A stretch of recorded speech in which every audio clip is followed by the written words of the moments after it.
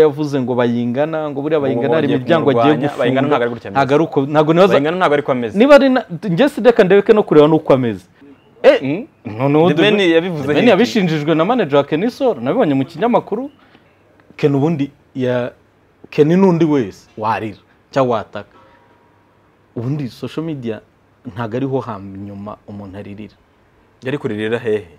Aho rero ni ho hari ikibazo. Uraririra he? Ninde ubireba si ibyo bintu? Ni- nakubwiye ngo urwo rwego ruranda min- minisiteri ihemba abakozi babiri.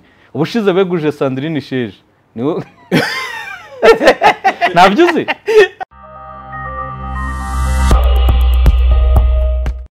Yes reka ngusuze kandi nkwifurize ibihe byiza ukora igisimbi tv nizere yuko umeze neza. Wowe udukurikiye none ahangaha ku muntu bitameze neza akaba akurikiye isimbi tv ndamukomeza amubwira ntihumura kandi ukomere wumve yuko mu buzima tubamo niko bigenda. Uyu Hari munsi utameze neza?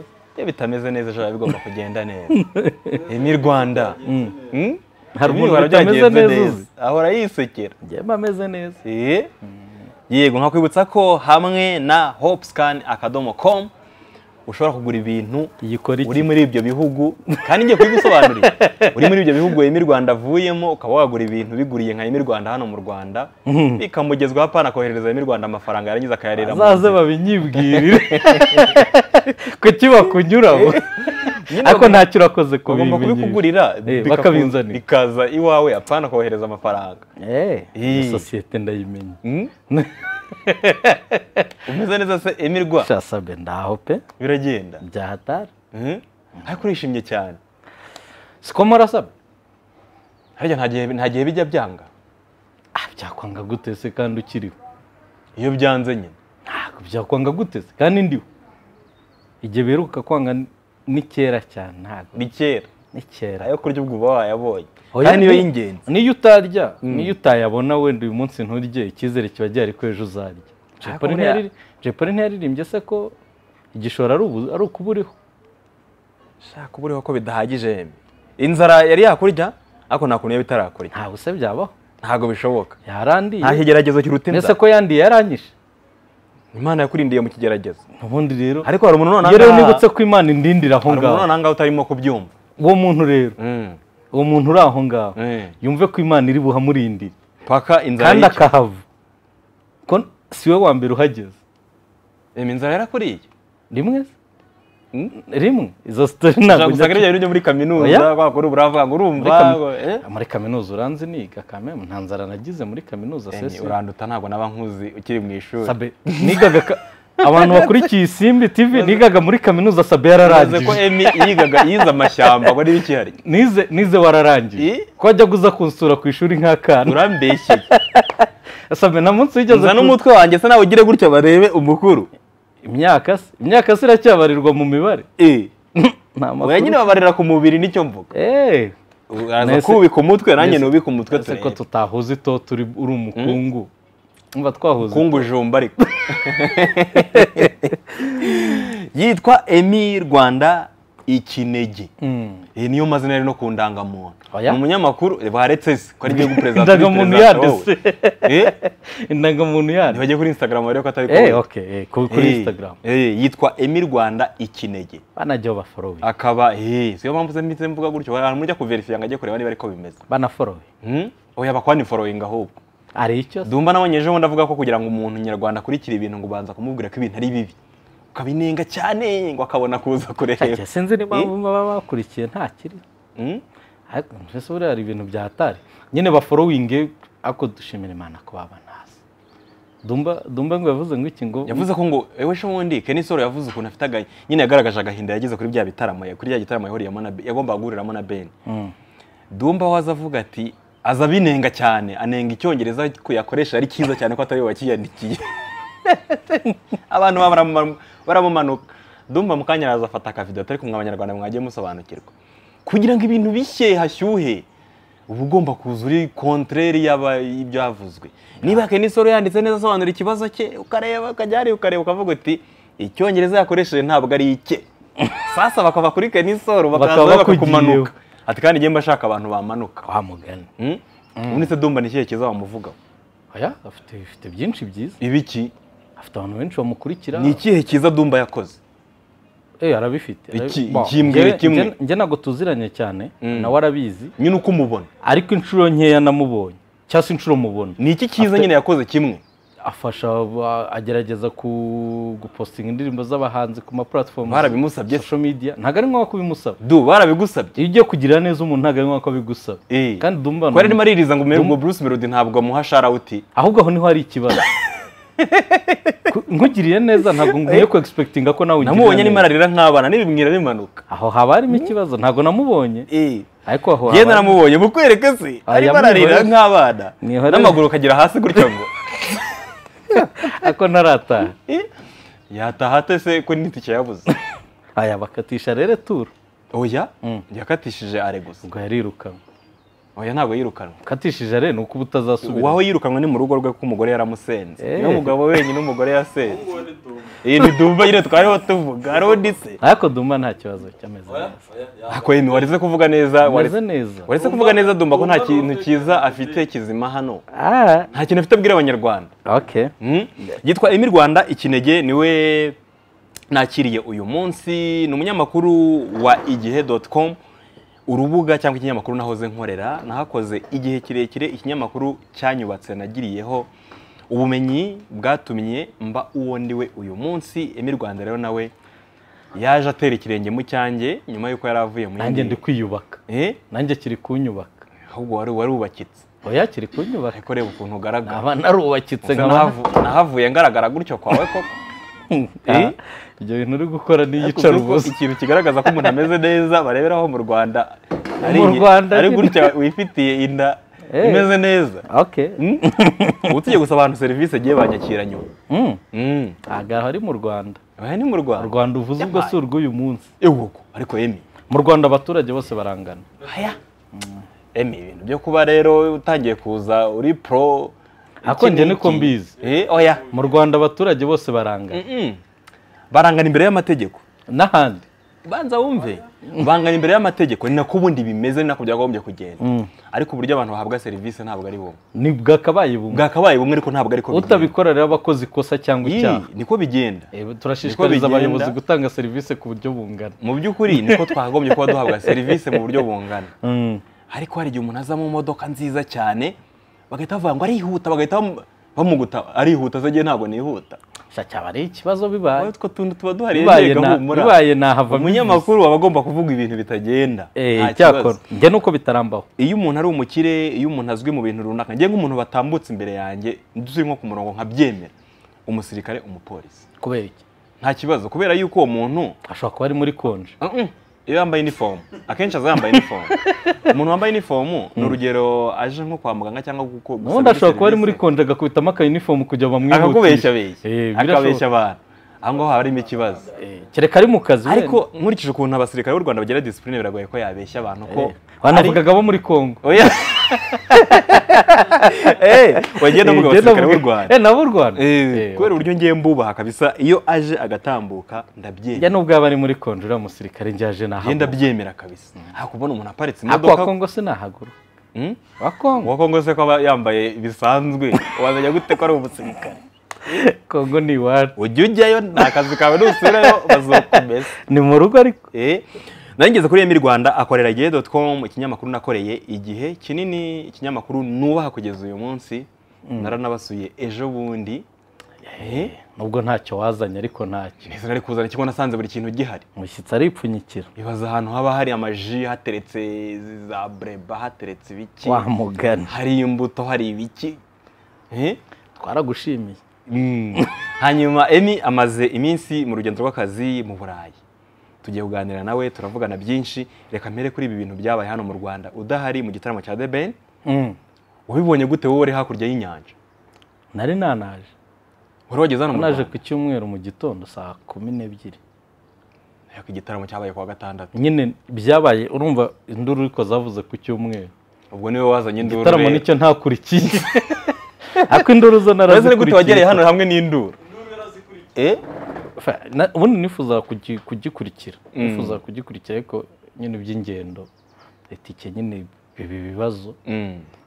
bihura n'uko bitakunda noneho ndavuga reka nze nihuse byibuze nsange hagihiye Mm. aho ngize imana nsanga haracyashya koko Mm. so ni byo narabibonye narabikurikiye warabikurikiye ku giti cyawe se n'ubu ndacyabikurikira ku giti cyawe. Mm. ikibazo wakibonye he? Nabonye abantu benshi bikoma david bayingana. Ngiye ntabwo numva ntabwo numva ikosa bayingana yakoze. Ntabwo ari we gusa. Wese ntibakwikomye sinabonye hari aho badutaginze njye nawe icyo nzi? Ngeze ko nakoze. Ngo ntabwo turi kuvuga. Ngo kuba tutari kuvuga.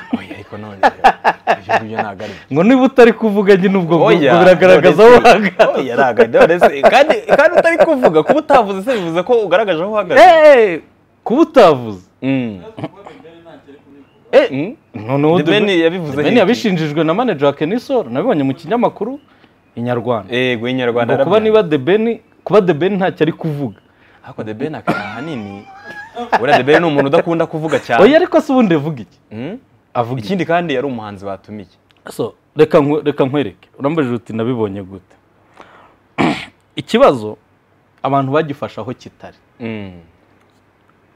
Nta nubwo nshaka kuvuga kuri kenisol kenisol ikibazo yagize yakigeranya n'abamutumiye kiri personel Mm. ni, ni kontra kereka kenisol iyo yaprodinga kontra na yo nkayisoma. Mm. nkareba ibiri muri kontra nkareba ibyo avuga bariya bishe noneho nkahera kuri ya kontra nkabaza bariya icyo gihe a- u- usomye iriya nyandiko ndende yanditse harimo harimo kontra ya ya Chop Life Kigali. Mm. harimo ibiri muri kontra yagiranye na bariya. So byangora kuganira ku bintu birimo igice. Mm. reka njye nivugire muri ruhande rumwe. Eh, reka nivugire muri rusange.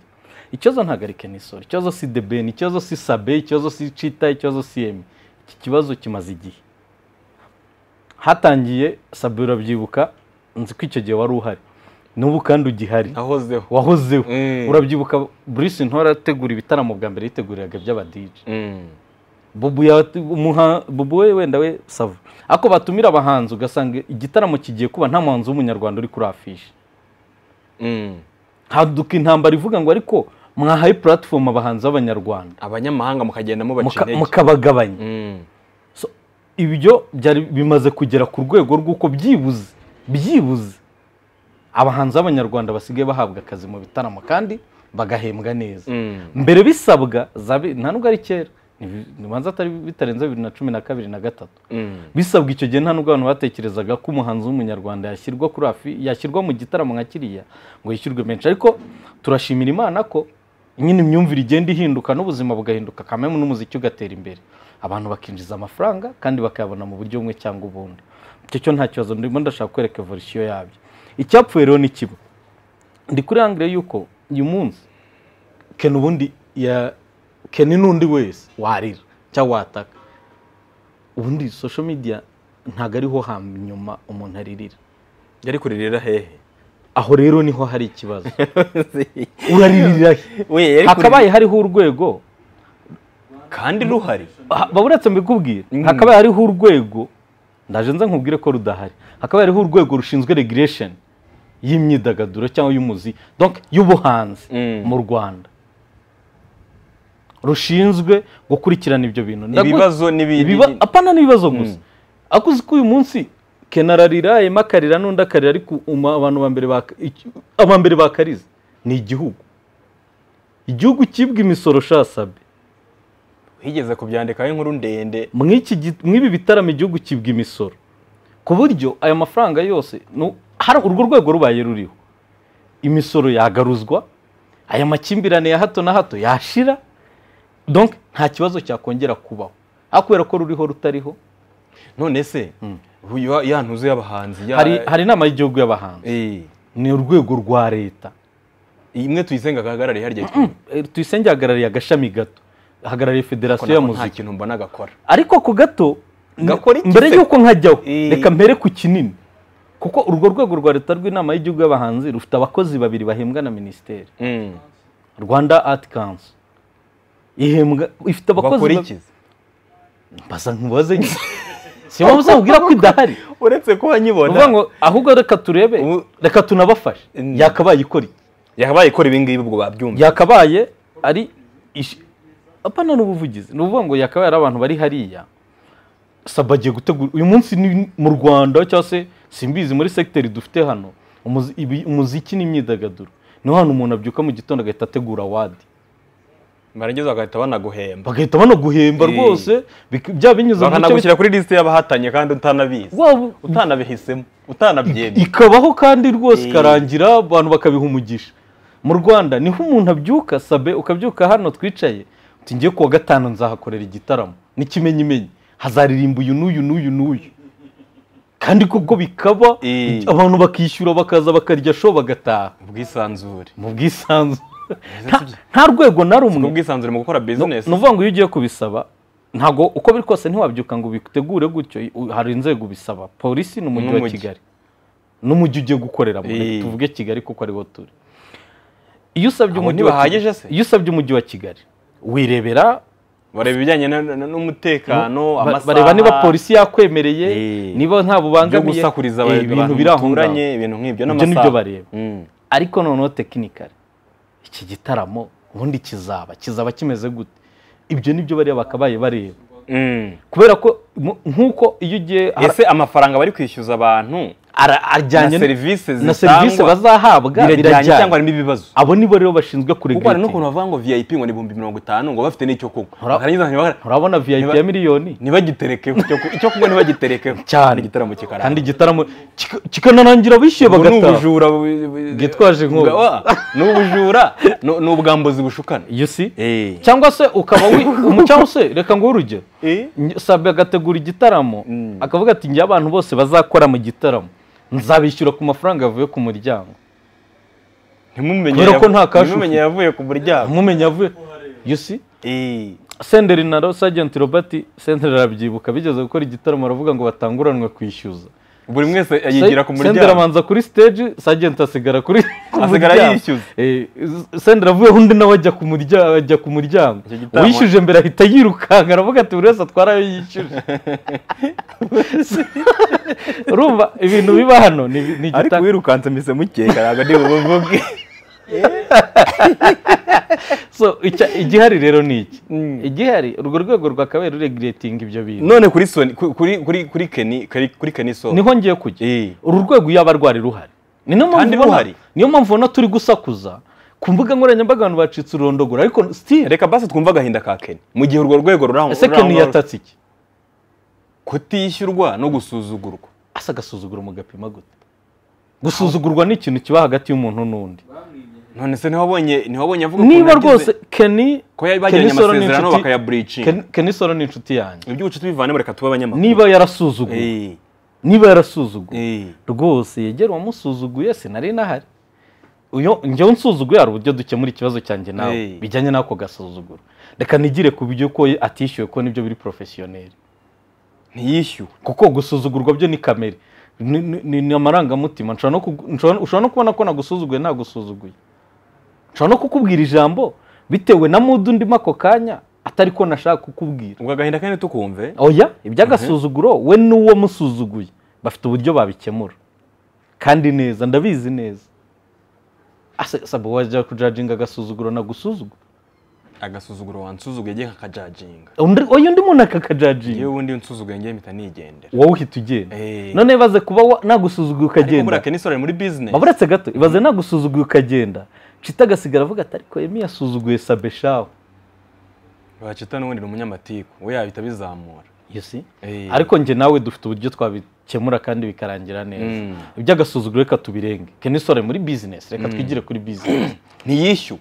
Ntiyishyuye ashyirwa kuri afishe bivuze ngo hari umufana waje muri kiriya gitaramo ategereje kureba. Keni solo afishi yamaze igihe kingana iki? Kirekire. None se kubera ko kiri hejuru y'umunsi umwe. None se agishyirwaho? Agishyirwa kuri afishi bari bamubwiye ko bagomba kumwishyura mbere y'iminsi itanu. Itanu igeze. Yarishyuje. Erega ikibazo ikibazo njye mfite aka ka- ikibazo njye mfite aka kanya kugeza uyu munsi. Ni uko ibintu turi kuvuga biri one sided wanyereka kontra ikivuga. Ikivuga. Nahita nsobanukirwa. Kubera ko n'ibyo bari kuvuga njye nanagerageje no kuvuga niyo mpamvu wabonye nacecetse n'abantu babyumva. Nagerageje namaze gusoma ibya Kenny ngerageza kuvugana n'urundi ruhande. Na bruce. Wapana Bruce ntabwo ari wabiteguye. Bino bya The Ben. Ba- ninde wabiteguye byateguwe n'umuhungu witwa Jideo Gentil se. Oya Eh. witwa jidewo janti ubona Gentil igitaramo kikaba ubona cyaba Sirax Award ntuzi yuko Gentil Jado ari mu bayiteguraga hehe. Eh, aho bamugize piyara yamazemo kabiri ugiye kumbaza ngo iri hehe irihe se nyine So, reka twikomereze saragisi ariko irahari iri muri ahupa imyaka Iko- ikomereza Iko- ikomereza urumva keni agahinda ke ndakumva yakabaye yarishyuwe. Nanjye ndishimira ko yakabaye yarana Barimo bavuga intore entertainment se. Mm, intore ntirimo hariya. Intore se iyo bavuga? Keni yafashe ni byo nakubwiye yafashe ibintu bibiri arabihuza. Yabanje kwerekana ko ari igitaramo yakoze mbere ntiyishyurwe. Mm. n'ubu atarishyurwa kandi ntarishyurwa noneho arangije yerekana ko atashoboraga no kujya kuririmba mu kindi bafite mu kuboko rero nabo oya! Nta kuboko bafitemo se? Habe habe n'aka- n'akameze gutya. Niba niba na Bruce yaritabiriye kiriya gitaramo yarishyuye. Si ubu nabikubwirana. None ubwo ikibazo ni ikihe? Ikibazo rero ni iki ngiki? Ubwo nkumva David bayingana david ngo njye kuri bayingana. Eh? Bayingana. Ni naho nagiriye ngewe ikibazo. Mm. bayingana ntiyari iri muri organization y'igitaramo mm. ntabwo yari arimo. Ntabwo yari arimo. Bayingana Bayi- bayingana niba yaranabigiyemo yabigiyemo nyuma. Umuntu wari ushinzwe kiriya gitaramo yitwa janti hari Matici- wo muri Rayon Sport uramuzi matici wantunze wa wa mukobwa. Wa Gisele. Eh. umugabo wa Gisele. Mm. hari n'undi musore umwe ni batatu wayikundaga kugendana nawe na Christopher cyane. Ko n'uwo janti nawe yakoranye na Christopher. So abo bantu ndi yitwa kukubwira Jedeo gusa ntabwo ari Kandi nani Jedeo Eh. sorry. Kandi we wancana biraza kuragira Janti Jedeo wabirimo. Urumva icyo ndi Eh. kukubwira Gedeon na, Matici n'uwo musore wundi sinibuka amazina ye neza. Nibo bateguye kiriya gitaramo. Abo batatu bafite kampani yateguye kiriya gitaramo. Ari na yo yateguye imikino yabaye mu mikino itandukanye. Mm. david bayingana kugeza njyewe mva mu rwanda. Kandi navu- navuye buri cyumweru kimwe ngo igitaramo kibe. David ntiyari- ntiya- ntaho yari ahuriye na kiriya gitaramo. Noneho david kubera ko wenda ari inshuti na debeni cyangwa se ha- hari uburyo umwe ahagarariye inyungu za debeni kandi debeni yari main artist maybe ko yagiye kubafasha ntabwo nari impari Mm. Uburyo yajemo rero ni ho nkubwira ngo icyaba cyarabaye cyose. Ntabwo njye ndi bugitinde. Mm. we na kuko ntari muri organization y'igitaramo. Ahubwo bari bari muri organization nibo bakabaye baradirinze na na Keniso Mm.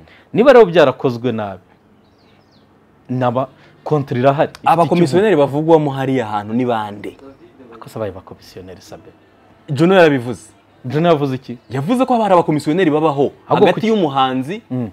N'umuntu wateguye igitaramo hari igihe nka leta iba yabiteguye ugasanga niba ari umuhanzi witwa Kenny ugasanga harimo umuntu uvugana Ah. nabo muri organization kugira ngo mudiringe amafaranga. Sabe ntabwo ari icyo ngicyo. Aba bahungu hari ukuntu bitiranya ibintu. Ndetse wenda reka mbere kuri Life. Ni igitaramo cya- cyari kirimo amakampani atandukanye harimo iriya ya Mr Easy Mm, haka- hakabamo RDB mm, na yo yari irimo. Kuba izo kampani zishobora kwiyambaza intore entertainment mm. ngo ibategurire igitaramo. Yo ikaza nka kampani ishinzwe gutegura. Ntabwo bihita bigira umukomisiyoneri. Ubwo tuvuge ko induru iri kuvuga niba hagiye kuba bare. Kubera yuko ntabwo numva uburyo umuntu nka Juno yavuga ati abakomisiyoneri. Nk'iki- nk'ikibazo rero kiba Kandi gitanga akabivuga ubona ari ikintu kimubabaje cyane. nk'ikibazo kiba gitangaje. Niba wowe Emmy wateguye igitaramo ukaba watumiye umuhanzi witwa Kenny ukancaho ukambwira ko ari njyewe ugomba gukora diro sibyo? Ese ubundi sabe nkunyuzeho. Ibyo twumvikanye ukabikora waba ubaye. Neza urumva inyungu z'umuhanzi nkeneye zibone cita nkeneye cita nkakunyura kandi ufite nimero ye? N'urugero. Ubu birakunaniye guhamagara Chita. n'urugero. Eh. nkeneye cita nkunyuzeho. Ndabwiye nti nkeneye cita anzambere musi mu bukwe. Ariko ufite nimero ya Chita? Yego. Muri n'inshuti Cyane. wambwira gute ko uwo muntu ariko uyu munsi nshaka ko sabe muhaye akazi ko kuvugisha ba ahantu uko cita byagenda kose oya ntabwo ari ibintu aba bahanzi bavuga. Mbese sabe Mm. ko nta gihe na kimwe haba ama eventi bagatora umuntu bakavuga ati ni we ushinzwe abanyamakuru. Ariko ujya ucunga. Uwo muntu aba abaye Ujya- ujya umukomisiyoneri ucunga. Hari igihe bashyiramo umuntu nanone ufite mu kuboko muri ibyo bintu. Kugira ngo agire inyungu runaka z'abanyamakuru abangamira. No ntabwo ari byo. Ni ukuri ntabwo ari byo. Bo, ndemera ko erega ibintu natangiye mvuga n'ubu Miss Rwanda bihagaze. ntuzi ukuntu byagendaga. Ibintu natangiye mvuga n'uyu munsi Miss Rwanda ntuzi uko byagendaga. Yego. Ibintu ni byo ngiye umuntu washinjwaga itangazamakuru. Mm. yabaga ari inde ni byo ndi kugusobanurira. Nibyo ndi kugerageza kugusobanurira. Uyu munsi hashobora kubaho amategeko ashobora kuba ameze gutya. Mm. noneho ba- baguha inshingano sabe n'inshuti y'uwateguye baguha inshingano sabe Mm. wowe ukazi- ukazishyira mu bikorwa nabi. Icyo gihe uba ukoze ikosa riri personel wenda rishobora kubavantaje nyiri igikorwa ntirirwa anabijyamo ariko ikosa wakoze ni iryawe nka sabe none se Da- David we kujya David byo ntabwo Ibya David sindi bubitinde ni ibintu biri ariko mu buryo ibintu bisanzwe mu buryo ibintu bisanzwe bitegurwa. Ugasanga umuntu ushinzwe ese itangazamakuru yamubwiye gute? Ngo yamubwiye ibintu bya cita ntuka- ntukabyize ibintu bya cita ntukabyizere ufite ikimenyetso se? Oh, ah, kuba Ken yarabyanditse ntabwo ari ikimenyetso umunyamakuru ashingiraho iyo si aho rero kuba ni ho umuntu yarabyanditse ntabwo ari ikimenyetso simusiga ushingiraho dukeneye kumva buri ruhande. Ariko mu gihe tutarumva buri ruhande natwe dukoresha du- dukeneye gukoresha common sense. Sibyo? Dukoresha common sense. Ni ukubera iki niba hateguwe igitaramo runaka cyangwa irushanwa nka Miss Rwanda? Mm. ushinzwe itangazamakuru agomba kuba ari inshuti y'uwo muntu. Ikindi bagashyiramo umuntu uri bubangamira abanyamakuru bamwe na bamwe. Kubera impamvu runaka. Ntabwo nibaza ko ariko bikwiye. Kandi ariko niko bigenda. Ntabwo byakabaye bigenda ntabwo ariko bigenda. No ndemera niba ari Emi watanze Mm. MC agomba guhita aba nkandira. Nka- aha nka K John cyangwa K John ari ushinzwe kwishyuza ni facebook K John akaba ari ushinzwe kwishyuza kugira ngo ntihagire umuntu n'umwe muyoboke niyo mpamvu wateguye ikiganiro cita hari se ubuyoboke nategura Chita uzasanga Rwema cyangwa Emi ari bo bantu. B'inkoramutima bari hafi bagomba kureba amafaranga byagera amafaranga n'abanyamakuru bagomba kwinjira batagomba kwinjira.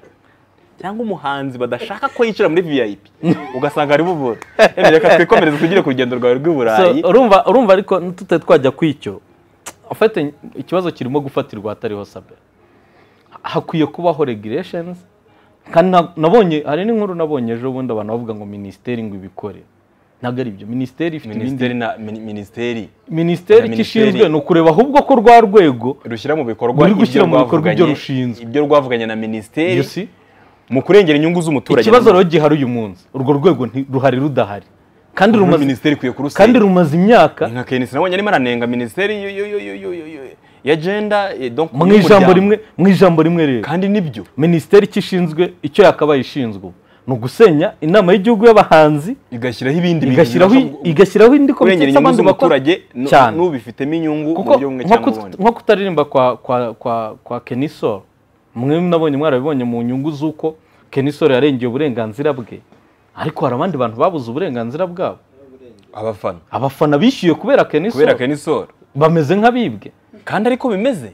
None se uwishyuwe uwishyuye aje kureba kenisoro yaramubonye yaribwe. None gute uvuga ko bameze nk'abibwe kandi niyo mpamvu niyo mpamvu oya nuko ntawe urarega niyo mpamvu bameze nk'abibwe erega buri munyarwanda reka nkubaze emi Mm. ntubona ikibazo cy'imodoka muri gare? Mm. mbese buri munyarwanda ajya hari umunyarwanda wigeze ubona afata ikirego ngo ajye kukiregera ajye kurega eh, urwego runaka rushinzwe gutwara abantu muri kigali?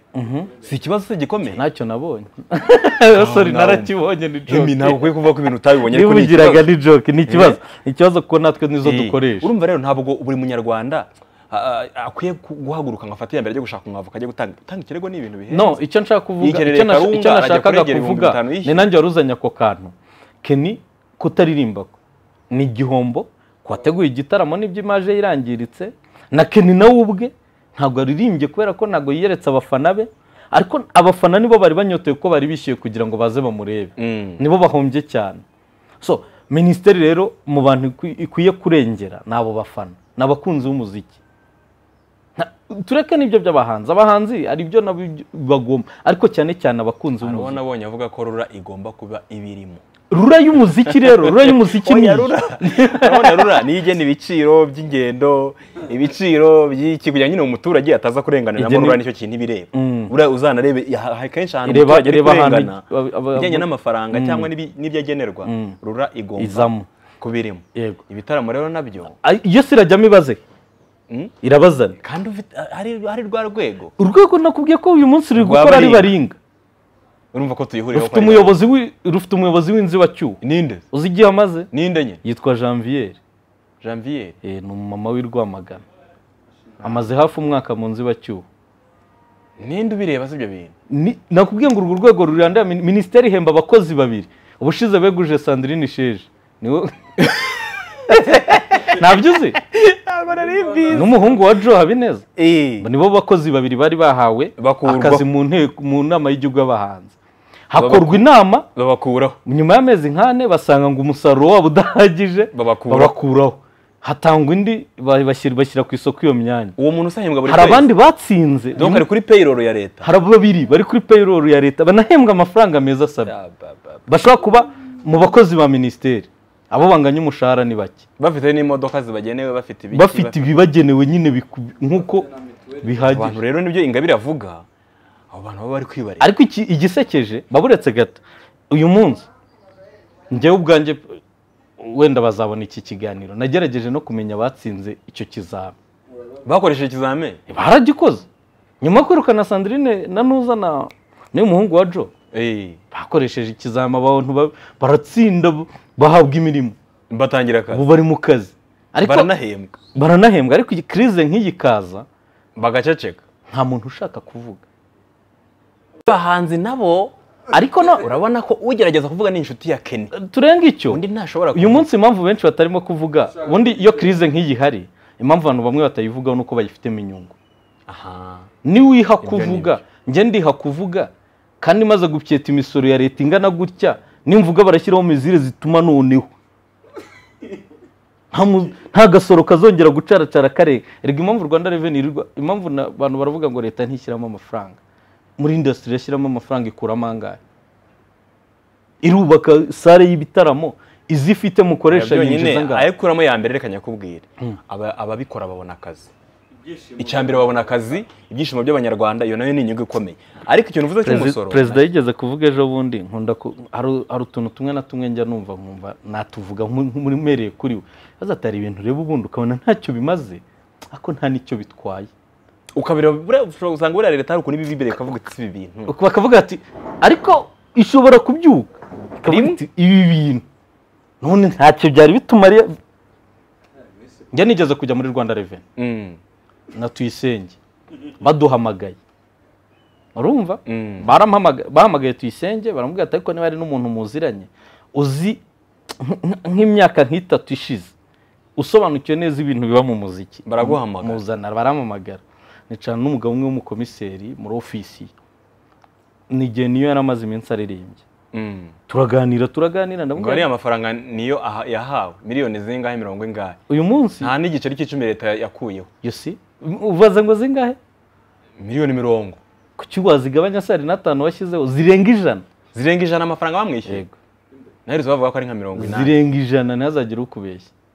Simpresize umubare ariko zirenga ijana. Umuhanzi waririmbanye w'u rwanda ntabwo ajya arenza ibihumbi bibiri. Ibyo byo nta n'icyo ese niba ariko gaciro ke oya agaciro ke Ni- niba ariko agaciro kawe emi sabe uyu munsi? Banza uyu munsi agaciro ufite wowe. ni igihugu kwanza kikaguha. Kabiri ukakihana. Baburetse nkubaza uyu munsi baguhamagaye. Batuzaza gufilima ino konseri ukabona ntibihuye n'ibyo ukeneye ni urugero ni urugero. Baguhaye akazi baguhaye akazi. Eh. ukabona ntibihuye n'ibyo ushaka gukuramo urabyanga. Wajya nese niba ubyemeye iyo ubyemeye uba wemeye ko ayo mafaranga ari ko gaciro k'akazi kawe. Kandi bitegurwa n'abanyarwanda. Kandi abenshi barabyemera. Hari uwase barashyiramo ikiziriko ngo ngwino uririmba hano nutaririmba tura. Ariko sha inzara ni emi ngaho nyumvira none ubizanyemo inzara. Eh, eh, inzara. tutarimo aravanga ibintu. Icyo nshaka kubwira ubwinshi bw'amafaranga ahabwa niyo n'ubwinshi Leta nta kintu ivanaho. Ese- sabe kuba hano? Kandi twebwe amerika iradusoresha Ben- kuri benshi mu bahanzi baba hano. Banza wumve se Eh. twebwe amerika urutobo nari- yakuye tuve ku by'abahanzi n'ubundi wari ujya- wari ujyanye ahantu numva two byasaba imibare myinshi. Twigire ku ibyo. Ur- na niyo ubwe ayakuye hano. Agomba ntiyayinjiza muri amerika atayasoreye ariko ayakura hano yose muri amerika. Akayajyana imbumbi muha urugero. Haba ibitaramo mirongo ingahe ku ijana bayakuraho buri wikendi hano. Wikendi niba haba wikendi mirongo itanu na zingahe byibuze mirongo itatu zibamo ibitaramo kandi birimo abahanzi mpuzamahanga.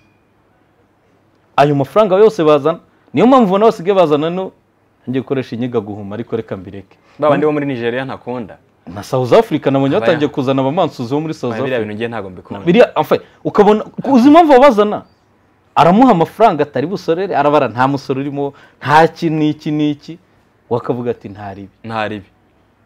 Ariko umunsi urwo rwego rwashyi- rwabaye seriye niba ari miliyoni eshanu zihawe urwo rwego ikintu cya mbere rwajya rureba harimo na kontara abantu bagirana. Bakamenya nyine ukuri bakamenya sabe yishyuwe aya Mm. arasorera aya ngaya erega nuko tureba n'abahanzi gusa. nuko tureba n'abahanzi gusa. Abazana sawundi muri muri muri konseri nabo ko ku mafaranga bishyuye hari ayo bagomba kubanza guha rwanda reveni kumva Uzi- hari amafaranga menshi atabadekarare ubuse kenisoro cyangwa se reka ndeka gukoresha kenisoro kuko we hari ibyo yibereye misita kagame ko aherutse kuririmba i musanze.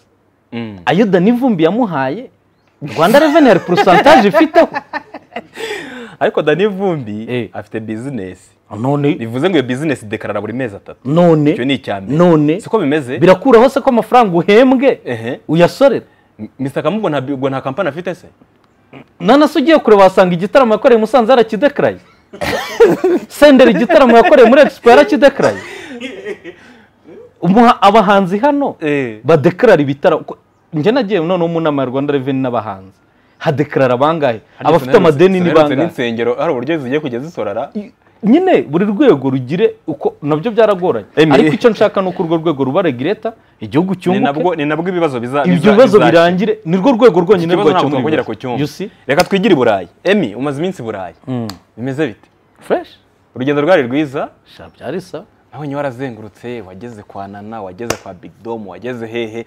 Duhe ishusho y'urugendo rwawe. Ni ubwa mbere wari ugiye i burayi. Iyi bwari ubwa mbere ngiye i burayi. Hari umuntu twari twicaranye ahita ambwira ati emi azatorokera i burayi. Dore nguyu. Eee mfashe igisambu. Arakubeshya. Nturamubeshyeye gute se kandi uhari? Ariko nyine hari igihe umuntu yireba muri miruwari Mm. ahita avuga ati dore nguriya ndamubonye. Ngo nyine agiye ntiyagaruka eee ariko ntabwo ari cyo ntabwo gahunda nari ifite gutoroka ntabwo byari. Ariko se ubundi utorokera nta ntabwo mvuze hariyo ubuzima bwiza? Nanahatura? Ariko mu buryo bwemewe n'amategeko Mm. nahatura nkajya naha nahatura mpabonye imirimo nahaba Mm. cyangwa mpabonye igituma mpaba nahaba kimwe n'uko ngifite igituma mba hano naba hano kereka ubwo mbonye igituma mpaba kirenze icyo mbona hano so icyo abandi babonye batoroka nyine nawe wahita ugishaka ntabwo mpamya ko ari bose bihira. Harimo n'abatoroka bakagaruka. Eh, sinjya mbona bakoresha na ibiganiro. Kirisiti yaragarutse byaraje hari n'abo nabonye ukoresha ibiganiro Mm. byagiye byanga. None ntago ari uko ntatoroka nanone ko ndi umuntu Mm. wenda wasanga byamfata ngatoroka. Ariko kugeza kiriya gihe kugeza kiriya gihe nta gahunda yabyo nari mfite. Eh, kuba mvuze ntabwo yabyo wari ufite bivuze ngo uzayigira. Hmm? icyo nshatse kuvuga kugira ngo ubyumve. Icyo nshatse kuvuga ntabwo nshatse kuvuga ko n'uwatorotse ni amahitamo ye na- mani ni amahitamo yari afite. ubuzima, Nta- kuko nta nka dukoresha- yaciye amabere Mm. Niba ariyo mahitamo yagize se tu nta kundi kandi niba byaramuhiriye ni byiza njye rero ntabwo nari gutoroka nari ngiye muri muri gahunda z'akazi n'izanjye bwite zirimo no kureba uko ahandi bimeze baravuga ngo akanyoni katagurutse so ndagenda rero njya mu Bubiligi wahereye mu bubiri ahagana hehe Mm. ntabwo nigeze mu Bubiligi ntabwo nigeze ndenga Mm. Mu Bufaransa sinarenze Paris Mm. nari ngiye mu makapitali so ndagenda mu Bruxelles ndatembera Mhm. mpura n'abashuti wabonye ko nagiye mpura n'abantu batandukanye Mm. Eh, njya mu Bufaransa mpura n'abashuti banjye Mm. njya ku- kureba Big Dom ni umugabo w'inshuti yanjye tumaze igihe kinini buriya Big Dom twavuganaga cyane tutaziranye Mm. ko yavuye mu Rwanda tutaziranye cyane twe twarahuye ariko tutaziranye cyane Mm. ariko nyuma tugenda dukominika hari ukuntu ukominika n'umuntu mukaba inshuti Eh, Mm. So tuza kuba inshuti rero biba ngombwa ko ngiyeyo mbanza kujya kumusura tugirana ibihe byiza turaganira. Ni ahantu nabonye urukundo. Mm. nabonye urukundo nabonye abanyarwanda bakunda abandi. Eh, nabonye abantu bakwakira. Mm. ni ahantu heza kwa ni ahantu heza. Mm. ni iki cyiza ubwo wabonye? Nabi- ni iki ndabikubwira. cyiza? Kuba abanyarwanda ba- no mu rwanda buriya turi abantu bari Na- nahabonye urukundo. No uh, uriya iyo uri hano sabe ushobora kungurira icupa dushobora kuganira ariko iyo ugeze ahantu wabonaga ko umuntu afite akazi akakareka akaza kugutora kuri airport Mm. akakujyana akakugeza ku aho ugomba gucumbika ari kuri hoteli Mm. ugacumbika nahuriyeho na Neri Mm. Umushuti wawe. CEO wa Zacu TV. Zacu TV Mm. So, akakugeza kuri hoteli ugacumbika wamara gucumbika akacekinga niba umeze neza akajya guhamagara umeze gute. Mm. yava mu kazi akaza kukureba hari abantu nzi ko bav- bavaga mu kazi na mbere yo kugera mu ngo bakaza kundeba. Mm. kugira ngo making sure ko meze neza. Yasanga ameze neza akigenda. Cyangwa se akambwira ati se umeze neza uri safe ahantu uri nta kibazo ufite? Akagenda. Ni ahantu rero nabonye urukundo aho ni kuri rw'abantu sidi y'abanyarwanda. Mm. urebye igihugu cyangwa umugabane muri rusange wasanze ari iki uriya mugabane utandukaniyeho na afurika? Nk'umuntu wari uhageze bwa mbere. Hari abandi twagiye tuganira yes ariko ndimo ndakubaza nk'umuntu wari uhageze bwa mbere kandi wahise agaruka no ni ibihugu kandi byinshi ukaba waragiye ugiye noneho ugiye kwiga no kureba ni ibihugu byiyubatse kuri infrastructure. Mm. Eh, byariyubatse kuri infrastructure hari ibintu byinshi nyine.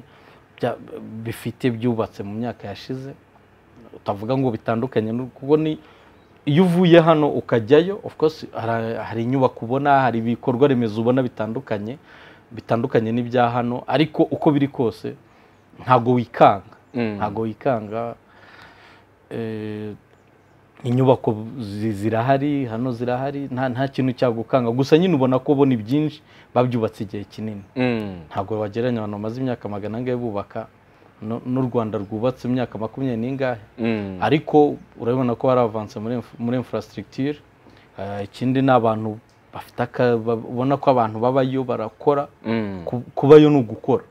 Ntabwo wabaye udakora. Kuvuganira n'umuntu akabwira ati ndagengeye mu kazi ndagengeye mu kazi. So, ni- ni- ni- ni ibyo ngibyo ni ibyo ngibyo urebye cyane cyane nta bantu wasubiye mu bibiri harimo nana Mm. nana ameze ate yakubwiye iki? Ikiganiro yego cyarasohotse ejo? Nanaraho eh nanaraho ah, ikintu cy'umuntu ubona yarabyibushye. Ahubwo nabonye mu- muri comments zo kwa Chita bavuga ko ashobora kuba eh, ntabwo njye biriya sinzi kubireba. Nanjye ntabwo nzi kubireba. ubwo hagize habaye hari uwabirebye akabibona. Bavuga ko atwite. Yaba ari inkuru nziza ku bafana. atwite se hari ikibazo ko afite umukobana n'umugabo we? Ntabwo ngenda umuhanga mu kureba ibyo bintu.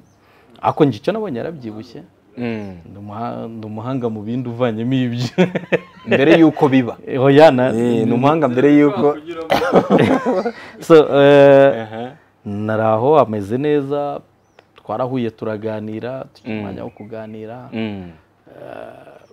donc aranyakira nyine aba hirya gato ya, Mm. aba aza niko bahita Mm. So aza kundeba turaganira dusangira ikirahure niko babyita. Mm. turasangira nta kindi. N'umugabo we bari bari kumwe. Nawe yari ahari Eh, yari ahari ko Mm. barazanye. Wabonye ubuzima bw'iburayi washobora kububamo? Warabaye mu bwa hahandi na hahandi hose uzi. Hari ahantu hakunanira kuba. Eh, bitewe n'uko wenda ikirere kimeze ukuntu uh, imikorere imeze urabona hano mu rwanda hari akantu tugira ko kugenza ibintu gake. Nubwo igihugu cyihuta mu iterambere ariko usanga hari ukuntu tugenza ibintu gake. Niba twapanze kumara n'isaha tukamara n'amasaha atatu dupfa ubusa. Uh, muri biriya bihugu biratandukanye usanga ari abantu bafite gahunda nadesize kujyayo nubwo naba ameze gutyo uvuze. Nadesize kujyayo ubwo naba niyemeje. Icyo bita kurwiyambika Mm. ubwo naba ngiye ngiye. So ntago hananira kuhaba. Nta n'ahandi usibye naho nta n'ahandi hananira kuhaba. Utaba ufite akazi mu kindi gihugu kumva ko hari ahananira. Hose nahaba nahaba naho? Hari wenda niba uryasazi wahaba. Naho nazirya none nagira gute? Ese uryasazi bavuga ni he? Ntabwo mpazi gusa nzi ko bazirya ari mbisi. Ni hehe? Tuzabaza.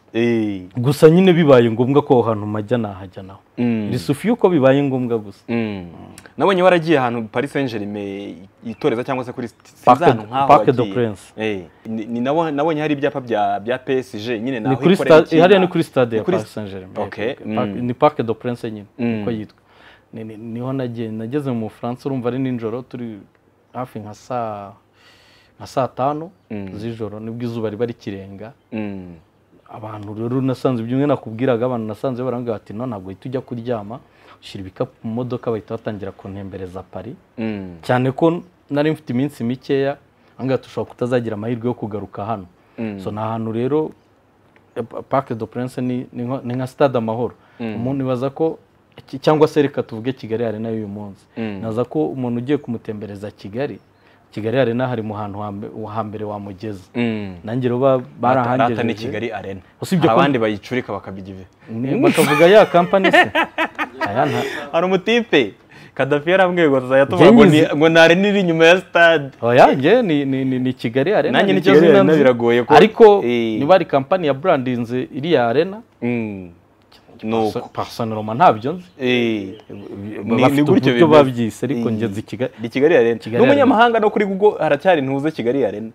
Eh iyo urebyeho ntabwo babihinduye. Nta kibazo. Nubwo banabihindura uzi undi bintu nk'iki kuba nzi ko ushobora kuba witwa sabe nyengabe. Mm, ako njyewe wenda mu bwana tukaba twarakwitaga gipeti. Mm. ubwo ntukuntu nkwita gipeti Cyangwa ngo uzarinkuraho Mm. ntabwo warinkuraho n'umutwe muto. so urumva rero na, usibye ko ndi n'umufana wa Paris Saint Germain Mm, nifuzaga kuhagera na- narahageze ndareba. Mm, ariko ntabwo nabashije kwinjiramo ko urumva hari nijoro mm. ku munyarwanda wagiye i burayi bwa mbere ampulisi uri mu kazi wabonye umunyarwanda yakirwa ate? Wenda wowe wahageze igihe gitoya hari n'ibyo utabonye? Donc, umunyarwanda uhageze bwa mbere abo twaganiriye ni abasanzwe bahaba ariko wowe wahageze bwa mbere nk'ijisho noneho ry'umunyamakuru umuntu umunyarwanda yakirwa Reka iyo uvuze ndi umunyarwanda. reka nkoreshe iki ngiki. Mm, Eh, ubundi ubibona ikigera kuri aeroport. Mm, utanze pasiporo yawe iri credible. Iyo ugenda umunyarwanda kuko kuri aeroport barakubaza uvuye mu rwanda ugiye ukamubwira gukora iki ukakimubwira? Akaguteramo ukigendera rero ubona ko ni pasiporo ba- ba- wubaha bubaha. Mm, bubaha bagahita bakwakira neza.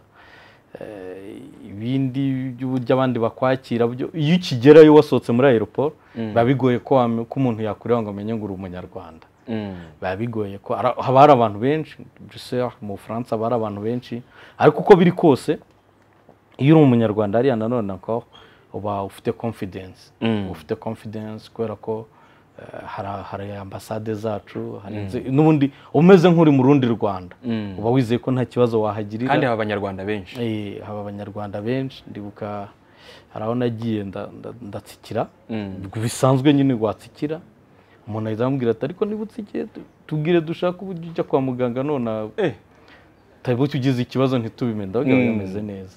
So rero na nyine uba wumva wisanta nk'uri mu rugo nta mm. Nta kindi kintu kidasanzwe cyo gihari. Mhm.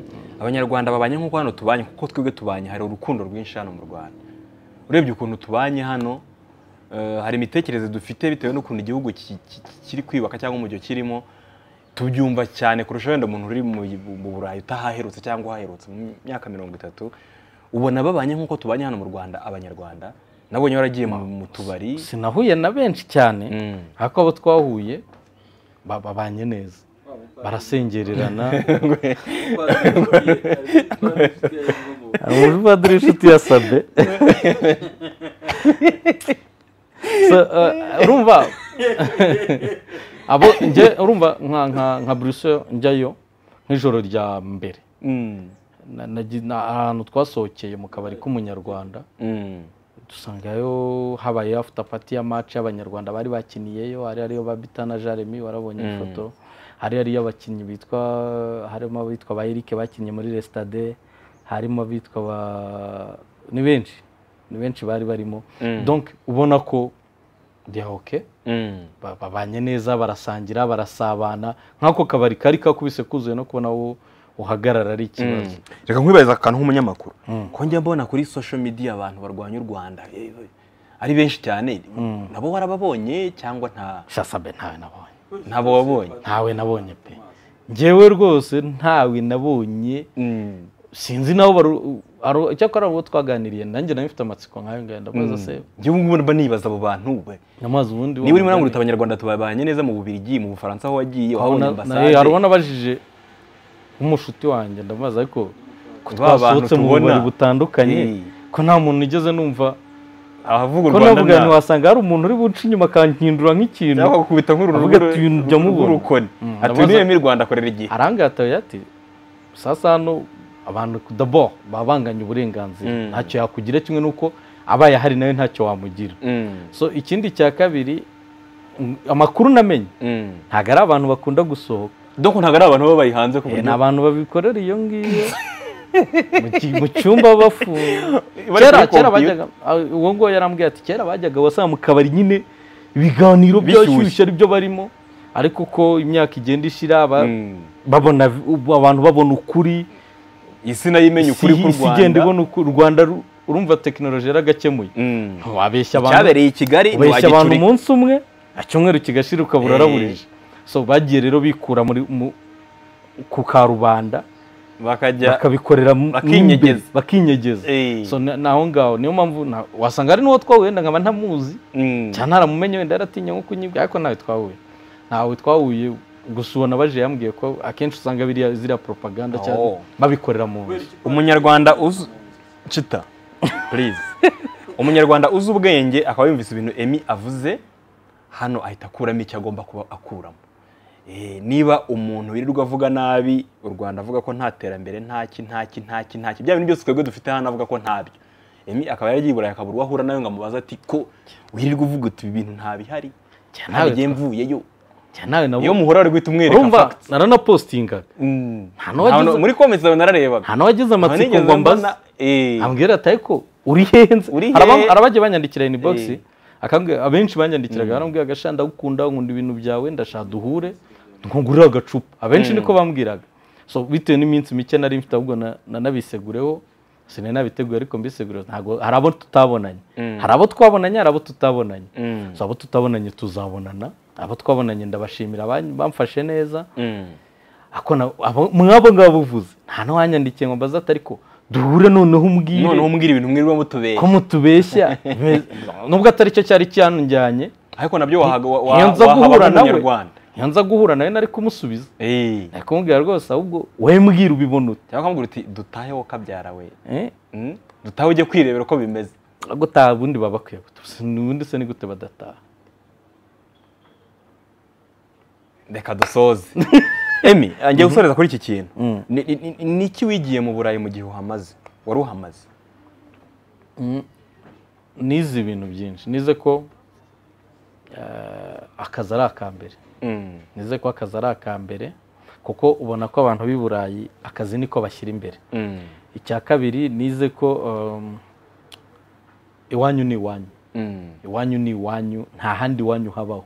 N'abantu bariyo babandi twahoze tuvuga bagenda akidekarara abakubwira ati sinjye uzarota mbonye icyangombwa kinyemerera gutaha abakubwira ngo sinjye uzarota mbonye ibyangombwa bakumbuye iwabo.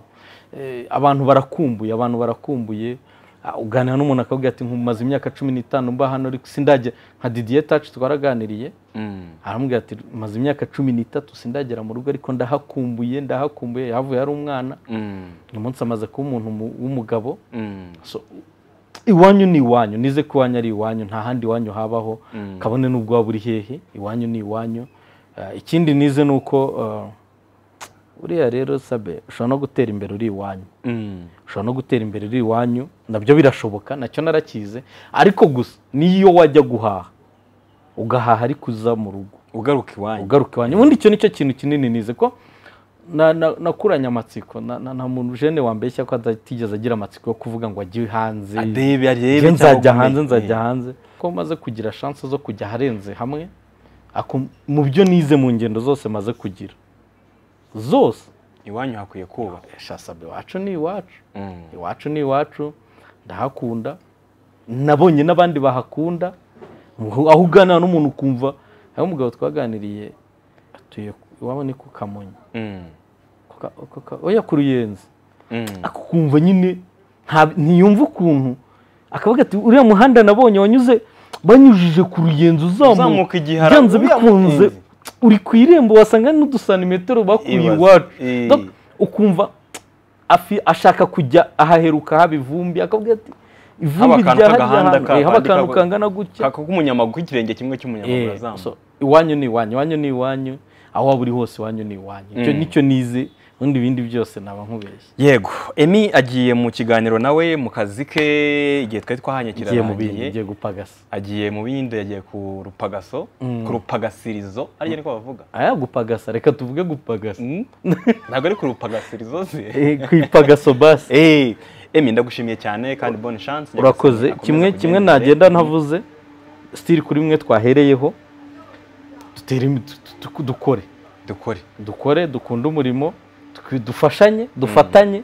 Kuko sabe nabuze mbona ibintu bihari bimeze nk'ibintu bishaka gucamo abantu ibice. Mm. Sabe- ari kuri emi oya biriya mari kuri kanaka ntabwo ari byiza. Social media hari ibintu zizana umuntu mukuru wundi urabireba uka- uka- urabireba ukavuga uti ndakureba nkakwibwira ntabwo ari byiza kubera ko uyu munsi sabe ntacyo twapfa kubera ko ejo nzamukenera cyangwa nawe azankenera niyo tutanakenerana tuzabana ahubwo nibutse akantu nakubaje emi nk'umujene Mm. Hano mu rwanda twigiramo akantu ko gusuzugura akazi. Kandi aba bantu twumva babiburaye no mu bindi bihugu no ku yindi migabane usanga buri kazi gakorwa nk'akazi.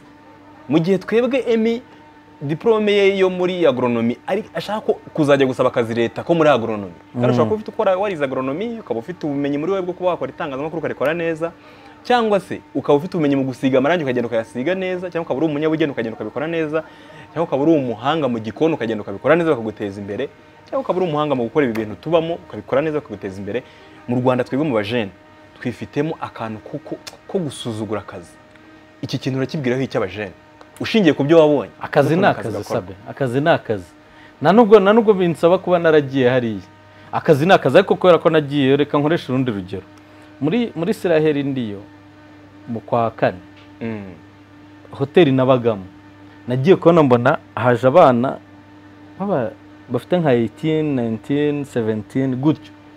Aribo bari gukora muri hoteli mbaza umuntu waho na zo aba bana kubera icyo ari bo bari muri hoteli arambwira ati no bano nabarangije amashuri. Iyo urangije amashuri uza kwimenyereza akazi. Mm. nese bize ibintu bya hoteli abarambwira batoya nyine uno mwana aba yanze kwicara mu rugo Akavuga ati, kajya gushaka umurimo uwo ari wo gushaka aho mba nkora. Ubundi kare muri hoteli bakabaha utwo tuntu tumeze nka stage. Ariko twinjiza amafaranga atuma umwana yigurira ipantaro yigurira ikabutura yigurira ishati. Mm. Eh, ikindi i burayi ukigerayo eh, ariko hari umuntu wigeze kuma komantere ambwira ati ariko dukunda abantu bo mu rwanda mukunda kudusaba amafaranga. Ngize imana urahigereye. Eh, ngwino reba. noneho Eh. urebe aho mba nayakuye. Urahita wumva ko udakwiye kujya umbwi- umbwira ngo nywe. Eh, cyangwa se nawe kenyere ukore wumve. Uze ugakora. Eh, ndagenda nsanga akazi akora. Yakoraga n'akakora n'akazi utavuga ngo karagize ni ugukubura. Mu Mm. muhanda mu- hano nzi ko nagura urutonde rw'abantu bwato ariko se ko kuba udashaka akazi bimeze bite? kutanyoherereza. Eh, eh, ba bandi birirwa bavuga ngo utanyoherereze eh ariko se kutanyohereza buriya mutipe ngo yaragiye i burayi ngo ashobora kohereza amafaranga. So we we- wakwereka ahantu yirirwa yibera yashaka muri ibyo. Undi nawe w'inshuti yanjye yarambwiye ati yanyore- uko atanyohereje yanyeretse videwo ntabwo yanyoherereje. Ati amafaranga dore ahantu mba nayakuye anyereka nyine ambwira ati ku manywa ufite imashini nteruza ama- amakarito mpanga hariya. Mm. saa munani ndangije akamita njya mu kandi ko kwikorera noneho amakarito n'intoki Mm. nyapanga ahandi. Mm. havamo saa kumi n'imwe. So ntabwo rero utarebeye kuri diporome Utarebeye mu rwanda iki kintu rero gikwiye kutuvamo. Cyo kureba diporome ngo ngiye ntegereje akazi. Sabe akazi ni akazi. Njyewe rwose ntafite niba uri umujene wararangije kaminuza yawe ukaba udafite akazi ukaba ubona ahantu hari ahantu ukazi ako ari ko kose. muri hoteli bavuga ko bakeneye umuntu ukoropa Mm. genda ugakore genda ugakora ubwo unaterete kuko wajya kubona ukuntu diporome yawe u- uba umenyanye na- n'ushinzwe abakozi muri iyo hoteli. Mm. ejo ushinzwe kontabiriti ashobora kugenda. bakavuga ati ariko dufite umuntu nziza. Urabizi hano hari abanyamakuru benshi tuzi babayeho kandi bagize amazina akomeye batangiye ari abazamu ku maradiyo. Cyane.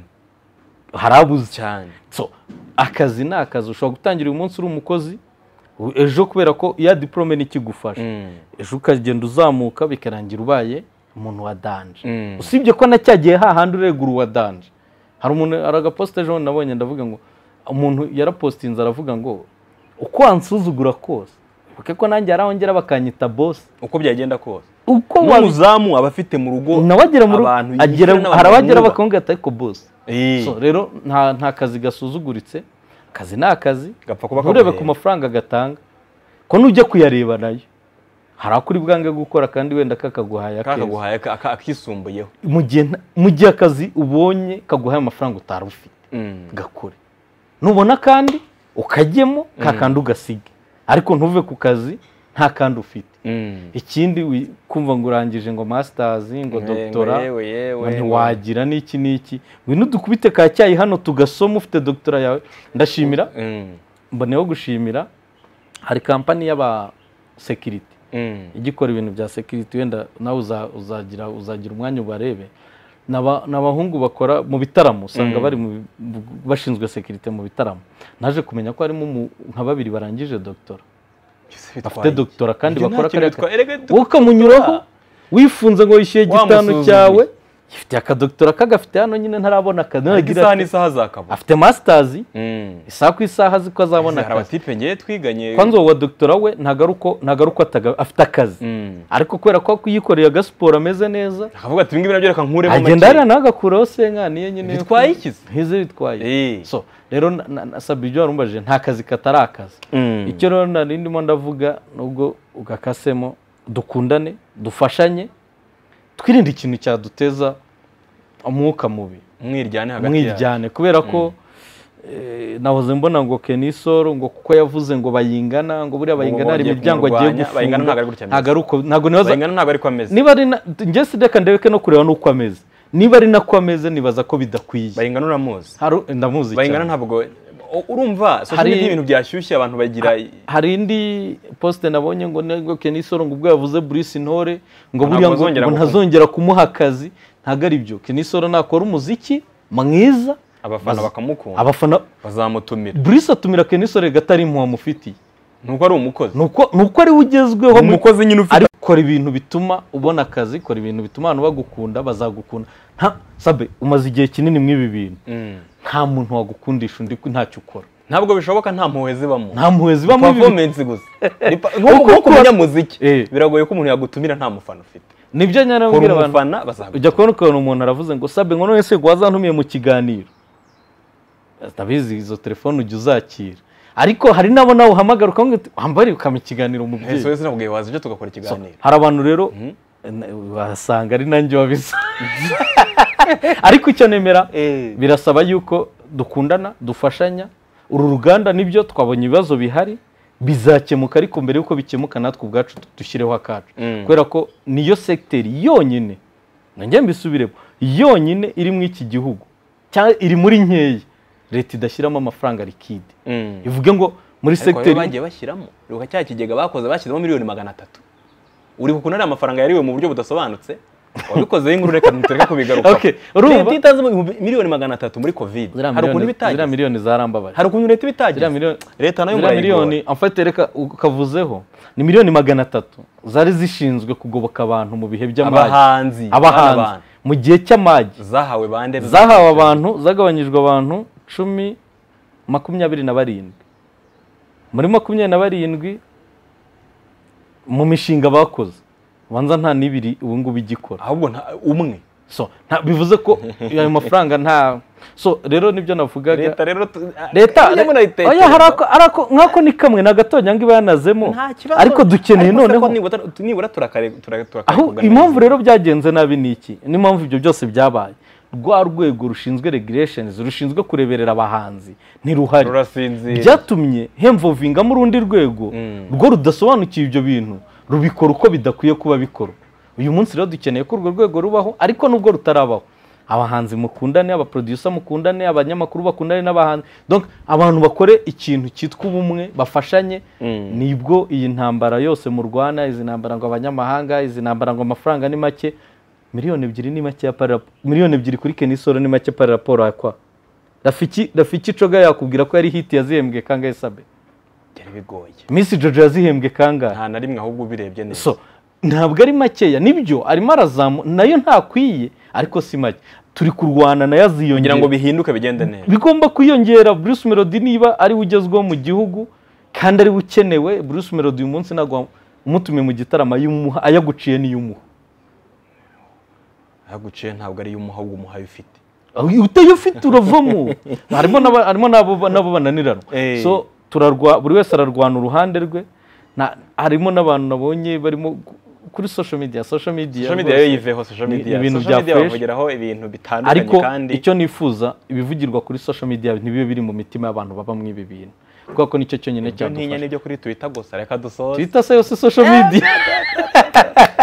emi so Aha. reka reka ngushimira sabe urakoze ku kiganiro. Ndagushimiye kubera yuko ari wowe wafashe umwanya wawe ukaza. Tukaba tugiranye ikiganiro. Hano hari umuntu nibura ugira akantu gato avanamo kamufasha mu buzima. Mm. cyane cyane ikintu kijyanye no gutinyuka akazi ako ari ko kose. Mu rwanda turacyari hasi cyane. Abajene barangije segon- segonderi ni benshi ntushobora kuba- kubabara. Egara ibintu mu myaka icumi ishize urebye aba- abafite amadiporome ya segonderi ni benshi. Kandi buri muntu araryamye arashaka ko azabona akazi kawe nahoze mbona ejo urangije abarangije kaminuza njye hari abantu twiganye batarabona akazi kugeza uyu munsi. Kandi mwiganye. Twiganye urumva bisaba ko umuntu agerageza kugerageza mu, kazi gahari gashoboka. Iki gihugu ni gitoya my friend. Hari n'akadahari umuntu ahinga. opportunity ntabwo ari nyinshi nko mu bindi bihugu. Ese ubu youtube abantu bari bazi ko ari akazi? Bisaba nyine kuhimbahimba iyi mitwe twagiye duhimba ni uguteka imitwe ahantu hose. Ariko irarya. irarya reka ngushimire So- emi Uh, kandi nkwifurize ihishya n'ihirwe mu byo ukora. Ukomeze utere imbere kandi uzamure abo usanzwe uzamura. Sabe urakoze cyane kandi nawe kuraje mu kazi kawe. Amina.